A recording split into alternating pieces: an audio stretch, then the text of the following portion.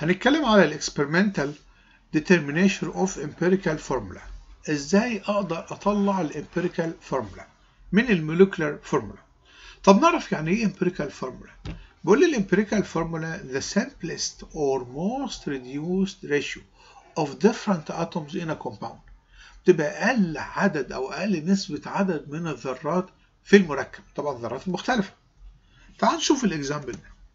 لو عندي molecular formula S2O4 عندي 2 atoms من ال sulfur و4 atoms من إيه؟ من الاكسجين إزاي أطلع لده إذا إداني ال molecular formula أطلع له ال empirical formula. أنا هدور على الرقم اللي يقبل القسمة أو هم كلهم يقبلوا القسمة عليه. يدينا أقل عدد رقم صحيح. لو أنا نشوف إن 2 sulfur و4 اكسجين الاثنين يقبلوا القسمة على كام؟ أقدر أقسمهم على 2 إذا قسمت الاثنين على دول يديني فعلا أرقام صحيحة. يبقى قسمنا ده على 2 يبقى ده 1 وقسمنا ال four على 2 يديني إيه 2 يبقى اذا لو لو جينا نشوف حولنا ال molecular formula إلى ال empirical formula يبقى SO2 وهي ديت ال empirical formula لل S ال S 2 O4 فاذا لو اداني ال molecular formula أقدر أطلع منها إيه؟ ال empirical formula. تعالوا نشوف السؤال على ال empirical formula بيقول لي ascorbic acid اللي هو فيتامين سي lack caused scurvy. نقصه بسبب السكربوت يعني. its composed بيتكون من النسبة ديت من الكربون والنسبة ديت من الهيدروجين والنسبة ديت من الأكسجين. طب عايز إيه بقى؟ بيقول لي determine its empirical formula. عايز يطلع ال empirical formula. طيب. أول حاجة هنا هنحل إزاي؟ أول حاجة هنبدأ بإننا نطلع number of moles لكل element فيهم. يعني هنطلع number of moles للكربون ونطلع number of moles للهيدروجين ونطلع number of moles لإيه؟ للأكسجين. تعالوا نطلعها كده. أول حاجة عندي ال number of moles للكربون. مديني النسبة المئويه كام؟ اللي هي فوق 40 92% جرام كربون. دي نسبته. هنضربها في كل 1 مول كل 1 مول من الكربون في كام من ال atom من ال periodic table كام؟ 12 1% جرام لكل كربون أنا حطيتها فوق ليه؟ عشان أشيل ديت مع ديت. يبقى هنشيل دلوقتي دهية الجرام الكربون مع الجرام هنا هو يطلع لي في الآخر كام؟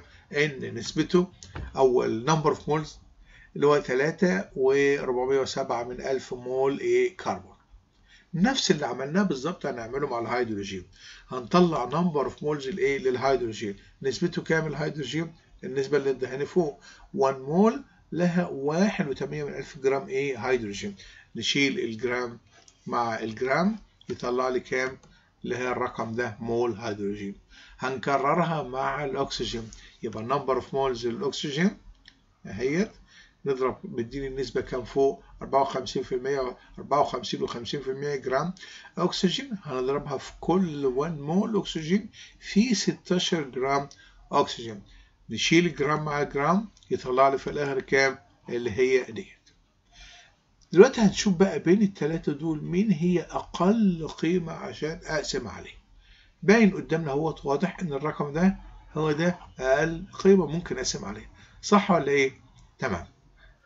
هنروح دلوقتي نقسم على أصغر عدد مولز يعني هيبقى كده الكربون هنقسمه على أصغر عدد مولز والهيدروجين مولز اللي طلعناها على أصغر برضه عدد مولز والأكسجين اللي طلعناه على أصغر عدد. بعد ما نقسمهم المفروض يطلع لي ال result كده إن تقريبا ده يبقى واحد وده 1.33 مول وده الأكسجين عبارة عن 1 مول. تعالوا بقى نكتب ال empirical formula المفروض ال empirical formula تطلع إزاي؟ C1 H1.33 اكسجين 1 طيب. نبص كده مع بعض. إحنا شفنا الشكل ده قبل كده؟ إن يطلع لي كسر تحت الهيدروجين كده؟ لا طبعا. يبقى أتخلص الموضوع ده إزاي؟ إن أنا أحاول أضرب الرقم ده في رقم صحيح عشان يوصل لي رقم صحيح. يعني يبقى ال H3 H4 H5 على حسب. لو ضربت ده تقريبا في 3 يطلع لي رقم صحيح يعني يبقى ده 4 مع التقريب. يبقى إذا طالما ضربت ده في 3 يبقى أضرب كمان الكربون في 3 والأكسجين في 3 المفروض بعد ما أضربهم في 3 يطلع لي كده إن ال empirical formula C3H4O3 تعال نشوف السؤال ده كمان على ال empirical formula تقريبا نفس السؤال اللي فات. بيقول لي what is the empirical formula of compound that composed of C ومديني لي نسبته كذا والهيدروجين مديلي نسبته كذا والاكسجين مديلي كذا أول حاجة قلنا بنعملها إيه؟ بنطلع number of moles. إحنا هنحاول نطلعه المرة دي في خطوة واحدة. ممكن نختار الطريقة اللي فاتت ممكن نختار الطريقة دي. هنحط كده ادي الكربون والهيدروجين وده الاكسجين مديني فوق كام جرام أو نسبة الجرامات كام؟ كذا. وفوق الهيدروجين كذا ومديني في كمان الأكسجين نسبته كذا. أروح أجيب من ال periodic table ال atomic mass بالنسبة للكربون ادي 12 وبالنسبة للهيدروجين الرقم ده حفظناه وخلاص. والأكسجين الرقم ده نقسمهم على بعض يطلع لي ال number of moles يقول لي ال number of moles لل C الرقم ده و number of moles للهيدروجين طلعناه و number of moles للاكسجين طلعناه. مين أقل رقم فيهم نقدر نقسم عليه؟ طبعا شايفين إن هو ده أقل رقم ممكن نقسم عليه. تعال نكمل ونبدأ نقسم النواتج اللي طلع على أقل رقم. يبقى اذا الكربون طلع لي number of moles كام؟ على أقل عدد number of moles تقريبا يطلع لي واحد. والهيدروجين نقسمه تقريبا يطلع لي اثنين والأكسجين نفس العملية هتطلع لي واحد. يبقى اذا ال empirical formula مفيش هنا أي أرقام كسور. إحنا ضربنا المرة اللي فاتت ليه في السؤال اللي فات عشان نطلع أرقام صحيحة. هنا هنكتب على طول. يبقى اذا ال empirical formula عندي كام؟ الأخيرة اللي هي CH2O تعال نشوف إزاي نقدر نطلع ال molecular formula من ال empirical formula بيقول لي determination of molecular formula. يعني بيقول لي لو أنت عايز تطلع ال molecular formula محتاج أطلع ال molar mass لل compound ومحتاج يبقى عندي كمان ال molar mass لل empirical formula فبيقول لي to calculate the molecular formula we must know محتاجين عشان نطلع. ال molecular formula محتاجين ل approximate molar mass لل compound in addition to its empirical formula محتاجين كمان لل molar mass لل empirical formula قانوننا هيبقى كده. عشان أطلع ال molecular formula هحط ال molar mass فوق ال compound على ال molar mass لمين لل empirical formula تعالوا نشوف هنا السؤال ده بيقول لي what is the molecular formula? عايز تطلع ال molecular formula of its molar mass. مديني ال molar mass الرقم ده.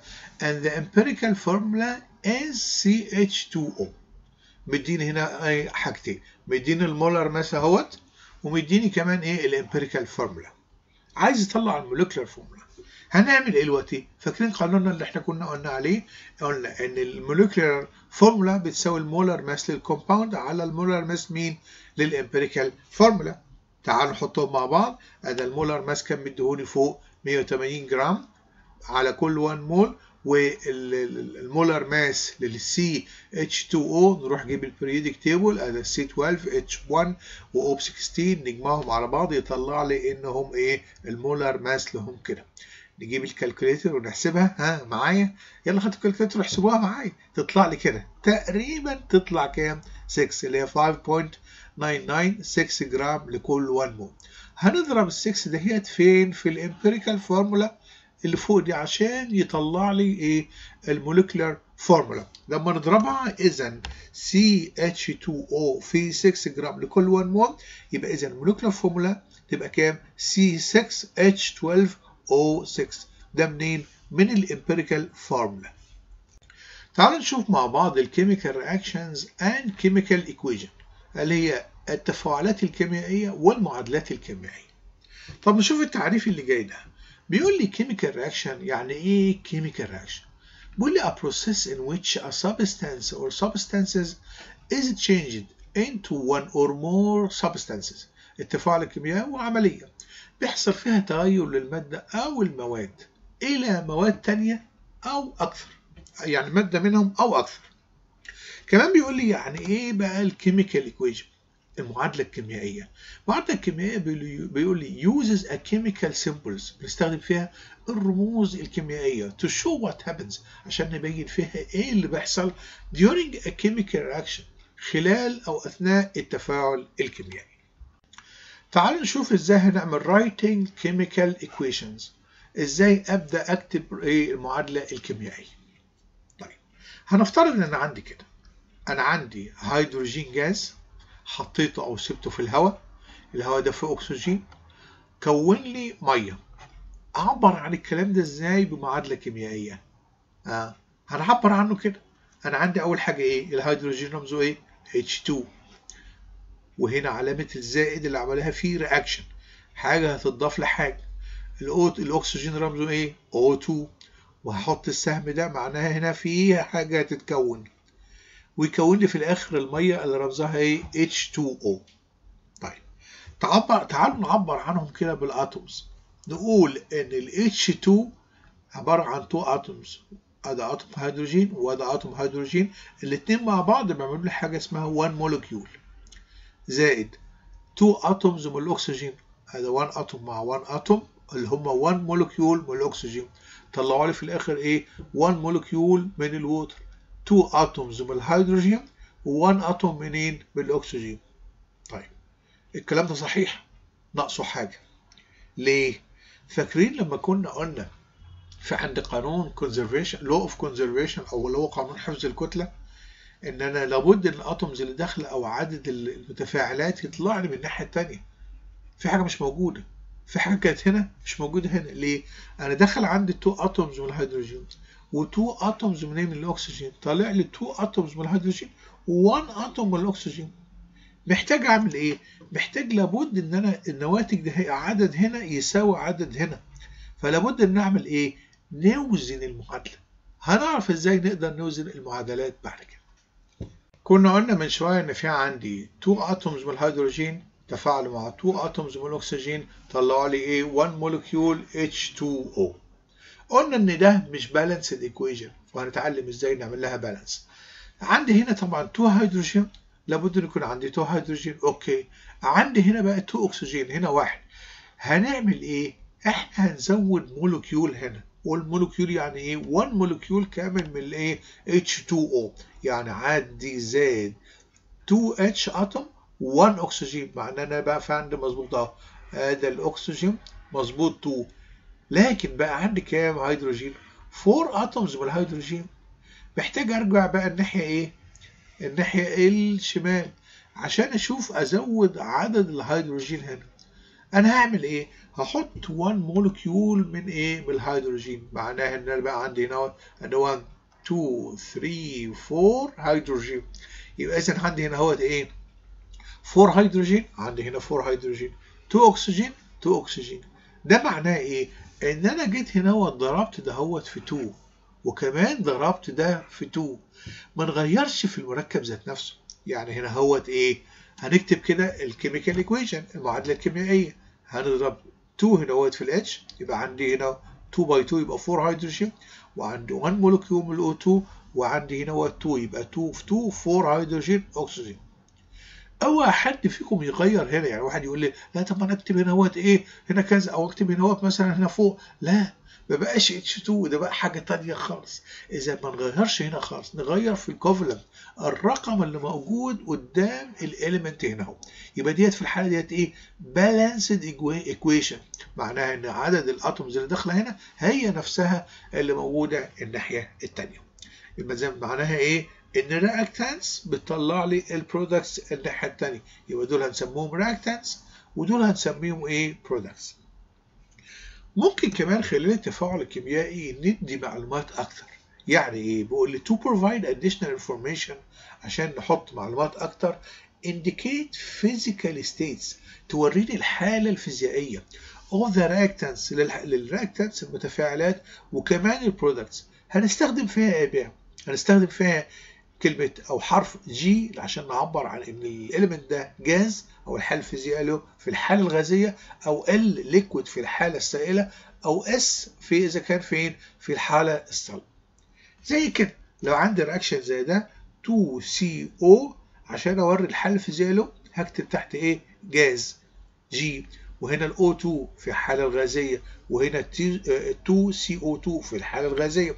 يبقى وريت كل واحد من دول من ال reactants وال وال products في أي حالة عندي. كمان لو عندي مثلا تفاعل زي ده 2HgO في الحالة ال solid في الحالة الصلبة طلع لي 2Hg في الحالة إيه؟ ال liquid السائلة وطلع لي O2 في إيه؟ جاز في الحالة الغازية. ممكن يبقى فيه معلومات أكتر على ال reaction لما نيجي نكتبه. يعني مثلا ده لو جيت مثلا أضيف sodium chloride إلى ال water هعبر عنه إزاي؟ هعبر عنه بال reaction ده. إن عندي NaCl solid واحط فوق السهم عندي H2O مع إن أنا ضفت ال NaCl إلى المية. طلع لي في الآخر إيه؟ NaCl aqueous محلول مائي. طب يعني إيه aqueous معناه ال aqueous إن أنا في وسط مائي. بمعنى إنه هو water environment means dissolving substance in water.